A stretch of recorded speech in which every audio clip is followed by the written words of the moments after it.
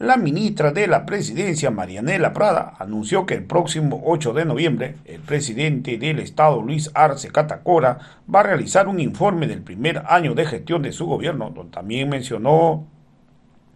que la derecha, la derecha ha fracasado ante su intento de querer desestabilizar al gobierno del presidente Luis Arce Catacora. Hoy la población lo que busca es crecimiento económico. Vamos a escuchar a pasaje de la intervención de Marianela Prada.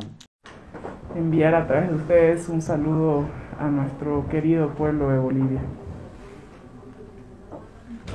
Ministra, eh, este 8 de noviembre se tiene ya previsto el informe del presidente. ¿Cuál es el criterio del gobierno en torno a lo que se ha hecho? Y obviamente en contraparte tenemos también movilizaciones y bloqueos por parte del sector que rechazan la 386. Justo coincide. ¿Qué advierte el gobierno? ¿Qué lectura tiene respecto a este tema?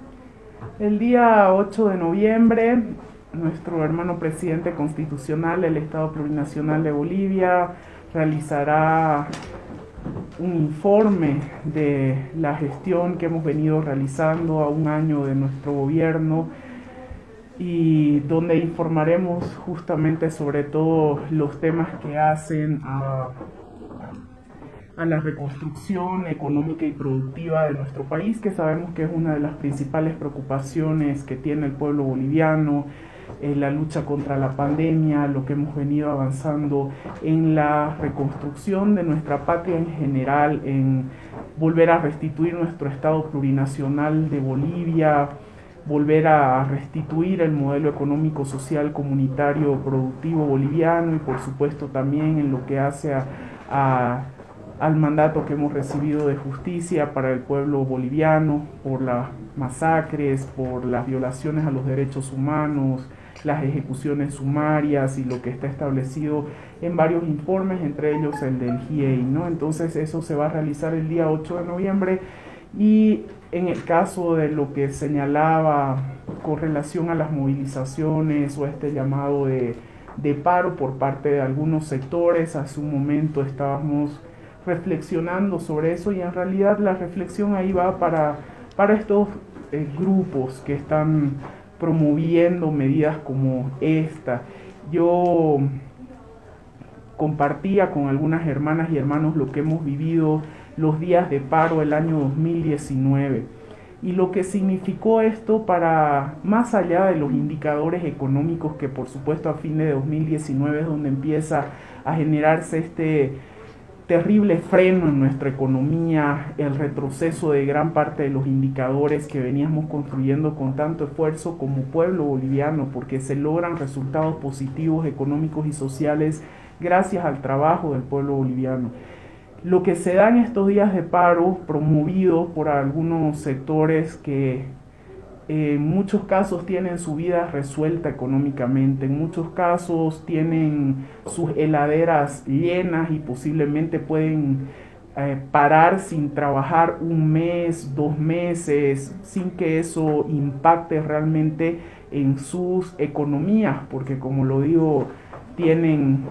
eh, para vivir posiblemente ellos, toda su generación y otras generaciones que vienen atrás de ellos. Pero ese no es el caso de la mayoría de la población boliviana, esa no es la realidad económica de la mayoría de las familias bolivianas que viven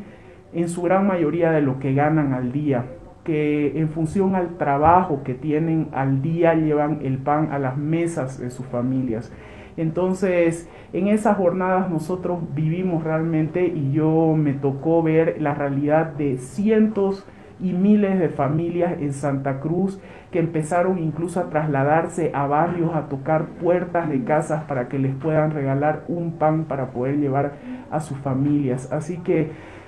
lamentablemente algunos grupos que tienen otro tipo de intereses están buscando generar alianzas con sectores populares, poniendo como excusas este tema eh, normativo, cuando en realidad lo hemos explicado muchas veces que nosotros como gobierno